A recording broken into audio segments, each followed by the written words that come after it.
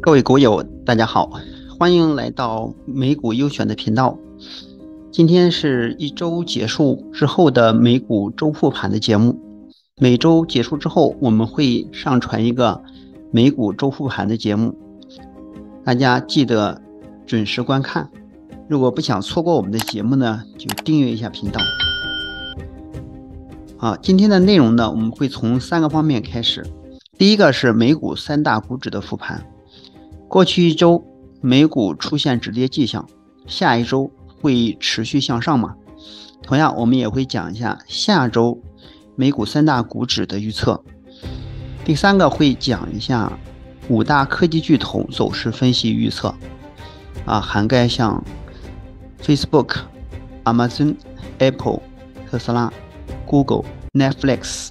如果说你有其他的股票想要我们帮您分析的话，也可以留言你的股票代码下来。那我们进入到第一个环节，美股三大股指的复盘。那我们的复盘用到的更多的是图形技术分析，所涉及到的指标呢会是布林线、MACD 量价。好，那我们先看道琼斯工业指数，新的一个月已经开始了，我们有必要。也给大家去预测一下三月份的走势。从二零二二年十二月三十号到现在为止，有一个简单的规则在重复。这个规则也很简单啊，其实就是属于阴阳相隔出现的规则：阴线、阳线、阴线、阳线。所以按照这个简单的规则来讲，三月份应该是收阳线的。但是具体收多大的阳线，这个预测不了的。或者预测一下收阴收阳这个事情，还是可以做到的。周线里边，我们注意一个密码，也就是关于三的密码。连续上涨或者下跌三个蜡烛，它就容易出现反向的运行。上一周我们预测本周美股会出现反弹，真的出现了反弹。到底是怎么预测的呢？就是按照刚才我们最简单的一个逻辑，下跌三之后会容易出现上涨。截止到上一周呢，已经是三连阴了，并且它也跌到了前期低点的附近。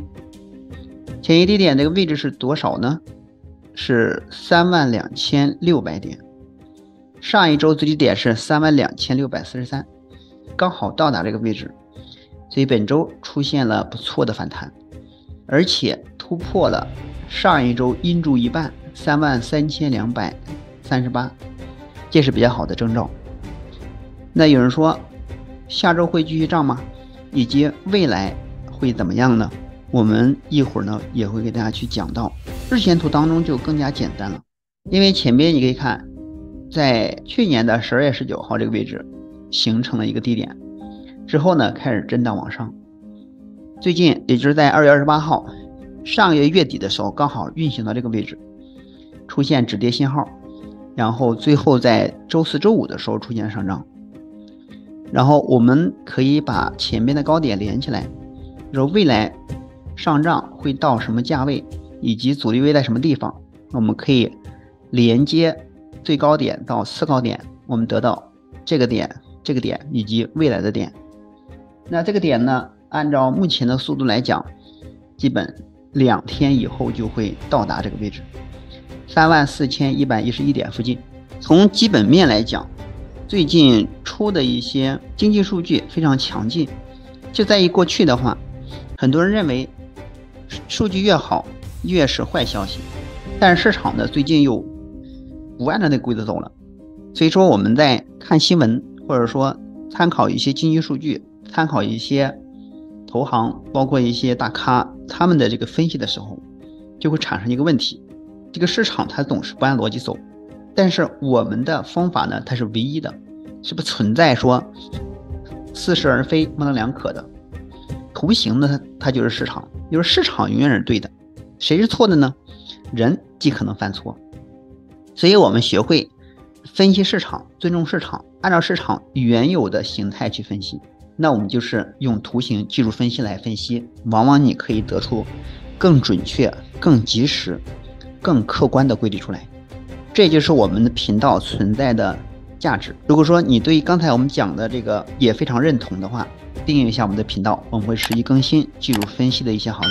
好，我们除了用蜡烛图来去看，我们也会看一些指标。当然，从指标上来看，也会出现一些好的征兆。比如说，我们打开这个布林线，布林线它的英文叫 Bollinger Bands，相信很多人都会比较熟悉，对吧？如果你还不清楚的话，可以倒回去我们上一期节目看那个布林线的使用。就是目前处在上轨线以上，所以说它是属于牛道里边的。然后你可以看，它其实从去年的十一月三十号那一个月就已经到达了中轨线以上，然后目前呢一直在沿着中轨线往上走。因为中轨它是三万两千四百七十，中轨破掉以后容易往下走，中轨没有破掉容易往上走。往上走的过程呢，到了上轨的位置呢也容易出现一个阻力啊，因为你看多数。它见到上轨之后呢，就容易回调，尤其是在短周期里边，更加容易出现高点啊。一会儿我们可以从周线或者说日线里边去看。那我们看周线，其实你看周线的时候，在我们刚才讲的这个第三个阴柱的时候，你发现它刚好触及到了布林线的下轨。一般触及到布林线下轨之后，它容易是个低点，比如像之前的这种位置。啊，这种位置以及这种位置，所以说给我们的买卖提供了很好的便利，看到吗？也就是说，它到达下轨的位置，那你买入，你看或多或少你都会赚一些。那而且这个通道越宽的话，它的涨的幅度越大；通道越窄，幅度越小，或者空间越小。现在目前看的这个空间就比较小。上一周打到下轨之后，本周。还跌破了下轨，但是最终收上来了，对吗？下周同样我们要面临着中轨的一个阻力位三三六三四点这个位置，然后我们看日线，日线这面呢，就是刚才我们说了一个三的规则是吧？也就是涨了三天以后，它容易调整，现在已经回到了布林线中轨以上，下边的 MACD 指标也出现了金叉，这是一个非常好的征兆。但是不意味着反转，就跟这边一样，它出现金叉之后是吧？这边也上了中轨，但是它有可能回复啊，就是反复再往下回撤。但是只要没有跌破下轨，就是没有问题的。所以如果下周回撤，最好不要破掉中轨是最好的。破掉中轨的话，我们就看下轨的位置。这个是关于道琼斯的。然后我们来看 SPS 五百，接下来这个时间呢，我们就可能会讲快一点。因为刚开始我们，呃，接触到这些技术指标可能不是很熟悉，啊，所以说经过刚才的讲解之后，相信很多人都已经对图形分析有一定的认识。好，你看啊，SBS 五百它也是运行的一个阴阳阴阳的规则，所以三月份也应该收一个阳线，对吗？然后从布林线角度来看，它也是回到中轨线以上了。啊，从这边你看，它其实就已经突破了，但是又回来了。突破这个就是没有跌破中轨。现在目前三月份也是在中轨线以上，所以说暂时还是比较乐观的。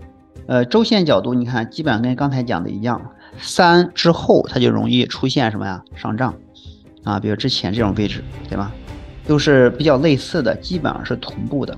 所以说你看，SPS 五百截止到上一个礼拜也是下跌了三周，结果就起来了。有时候的话，我们还可以利用一些趋势线的角度去画一画，对吧？你看它也是到位了的，对不对？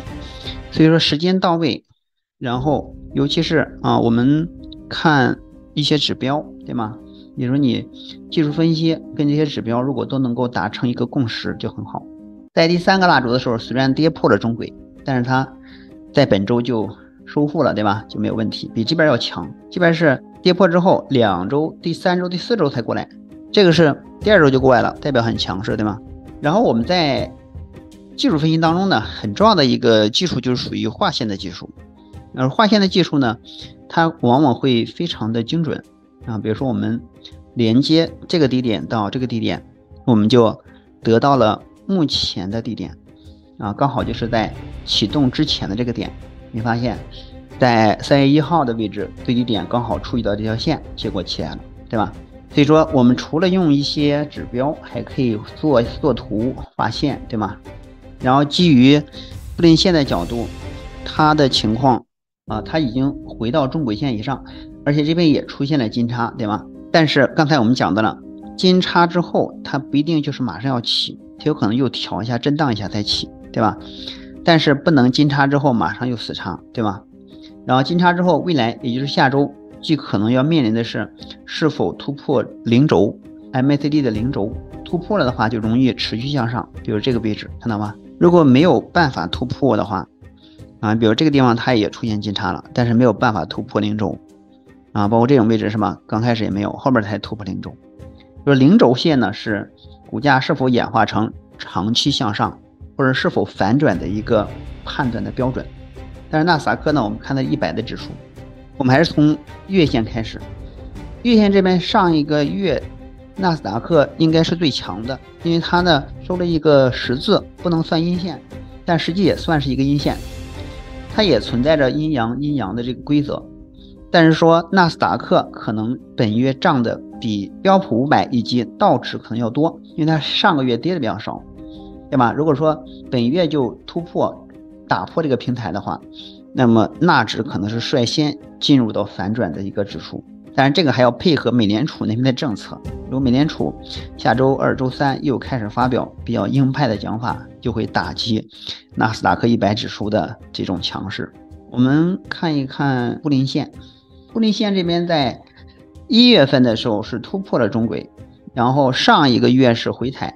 这个月是确认，所以说如果这个月收了阳线，而且收了一个不错的阳线，就是一个很好的一个开端。目前来看，三月份也是应该收阳线的。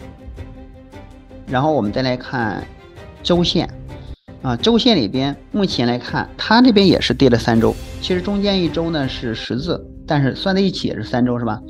调整一个三周之后，它容易出现上涨，对吧？比如你看，经常会出现这样子的。然后，并且纳斯达克指数呢，它的低点已经没有创新低了，是吧？是在创着新高，看到吗？你可以这样画上啊，这是轮廓图，对不对？然后我们从指标角度来看一下，其实我们在预测的时候，尤其是像纳指的话，它用布林通道会更好一点。也就是说，你看它经常会遇到上轨之后就下来了，对吧？遇到上轨就就容易下来，看到吗？也就是我们在预测的时候，你发现它在二月份的三号这一周就已经打到上轨了，对吧？接下来就开始调整了，然后调整到最后，你发现它在本一周最低点实际上也是探到了中轨，是吧？有中轨线对于它是一个很重要的支撑。前面几次你发现它都没有站住，上了中轨之后很快就下来了，看到吗？很快就下来了，这个也很快就下来了。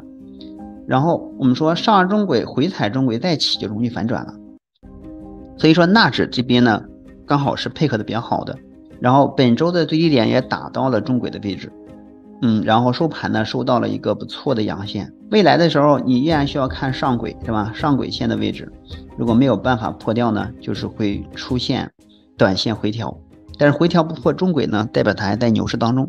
从 MACD 指标来看呢，就至少红线已经上穿零轴了，这个是比其他的两个指数强的一点。呃，日线图这边我们也可以看一看布林通道，然后发现它已经是在反弹两天，这两天的发现它的 MACD 指标已经金叉了，而且也是过了上轨。当然，我们需要画一个线给它。